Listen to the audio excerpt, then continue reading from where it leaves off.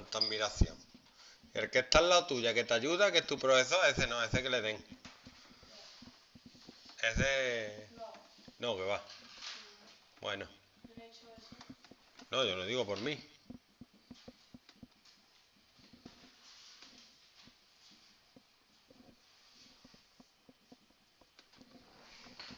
Bueno. Hay la ecuación general del plano que contiene R y es paralelo a la recta que pasa por A y B. A ver, decirme algo ustedes. Que contiene R, plano. Contiene R. Y paralelo a recta que pasa por A y B. Habrá que sacarse la recta que pasa por A y B, ¿no?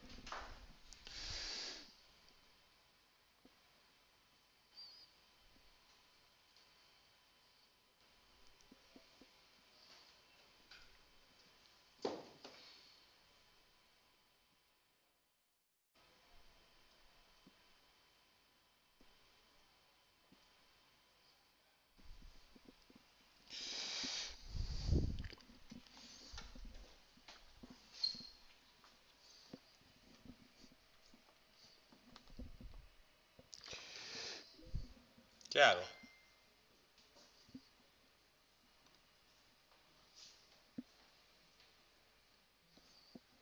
Venga, decime algo.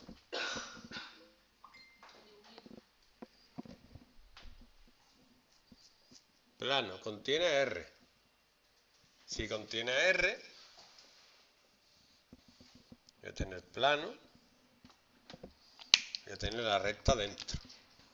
¿Vale? Pero es que además es paralelo a la recta que pasa por A y B. Es decir, que voy a tener la recta, los puntos A y B por aquí.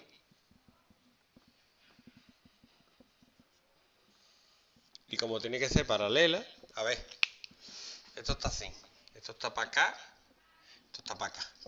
¿Vale? El plano este, mi mano es paralela a la recta esta. ¿Vale? Entonces, también va a pasar que el vector directo de esta recta es el vector directo del plano y va a caer aquí encima. Entonces voy a tener, ya tengo todo lo que necesito para hacer un plano, que son dos vectores directores, que el vector director de R y el vector director de la recta B y un punto. ¿Cómo saco un punto?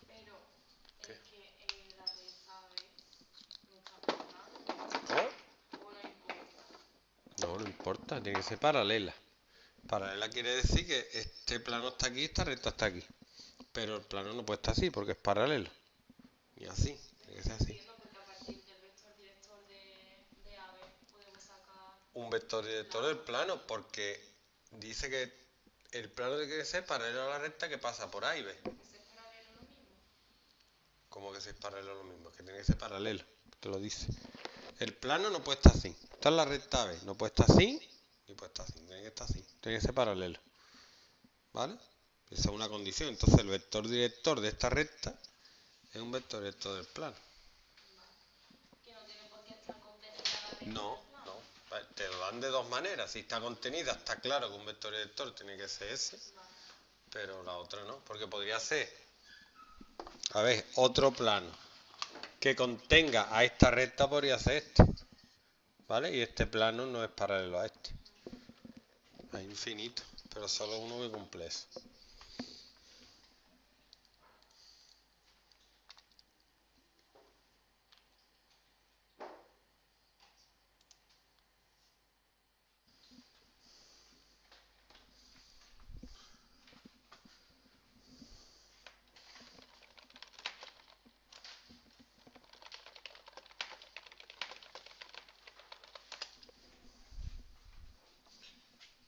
Bueno, ¿qué?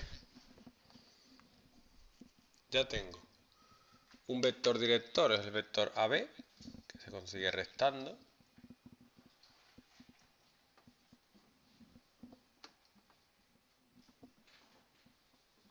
¿Vale? El otro vector director, el vector director de la recta, te la damos pinchuita.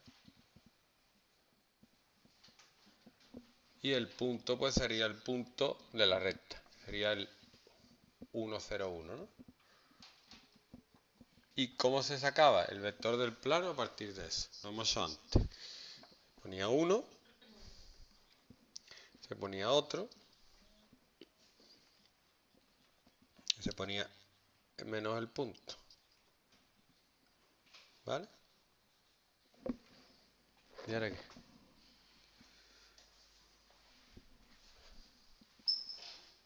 Me queda 8i menos 4 por x menos 1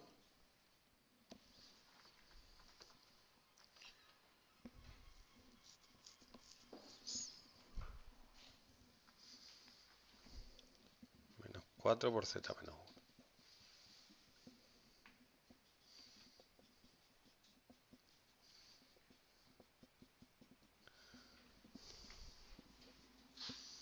queda menos 4x menos 4z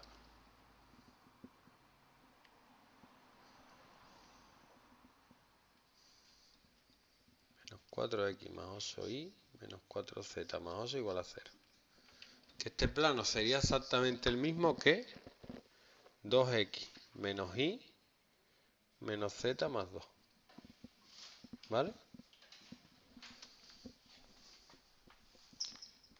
Menos z más 2 no, más z menos 2. Este le gusta al alcalde. Este, este le gusta, este es que ya no lo sabe. Más z, este le gusta al alcalde. Yo que no tengo una legión de guionistas haciéndome los chistes, yo lo veo y se me ocurre y lo cuento. No es muy difícil, ¿no? Este era el que valía un punto, ¿vale?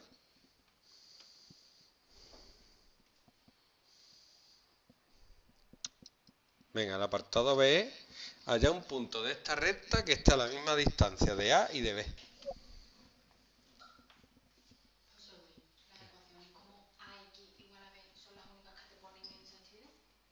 Sí te lo ponen complicado, pero al final es eso. Al final te queda x igual a b, tienes que hacer la inversa de a y... Pero nunca te salen complicadas de... Sí, sí, te pueden poner algo un poco más complicado, pero ya estás viendo que no... Lo que importa es más la inversa. ¿Borro?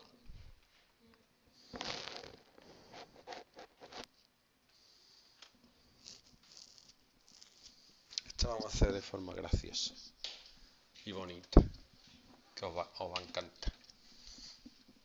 Dice, hay un punto de la recta R que está a la misma distancia de A que de B.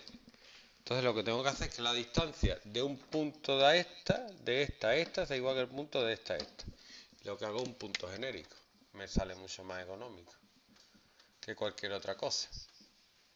Entonces la distancia de este punto a este punto, ¿qué sería? La raíz de... ¿Cómo era la distancia? Restar, ¿no? Era 1 más 2t menos 1. Lo voy a poner para que lo veáis. Más t menos 1 al cuadrado. Más 1 menos 2 al cuadrado. Igual a raíz de este menos este. 1 más 2t menos 1 al cuadrado. Os tenéis que ir dando cuenta de alguna cosita. Más Tienes que ir en un orden establecido. Sí. Con un orden establecido. Es que aquí pone que x menos 2 menos x menos 1 al cuadrado. No. No, no, no, da igual. Puede ser este menos esto, este menos este. Es que me, da- igual.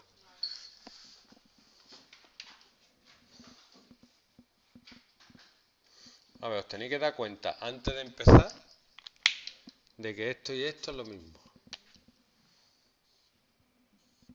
Os ahorra un montón de trabajo. Luego se va a anular. Y me queda cuadrado del primero.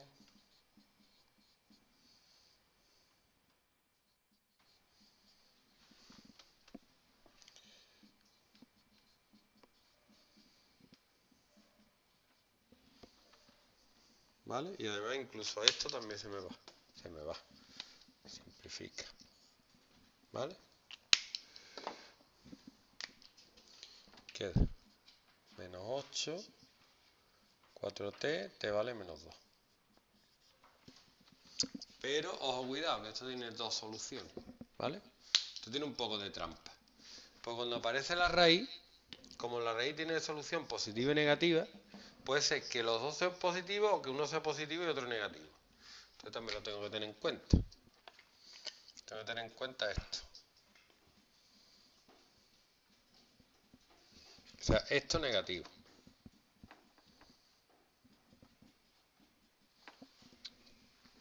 Quedaría 2t cuadrado. Menos 2t se va y queda igual a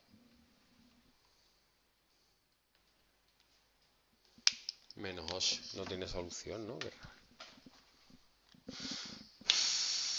No, no tiene solución. Este igual a menos 2. Entonces el punto sería, si te vale menos 2 sería menos 3, menos 2, 1.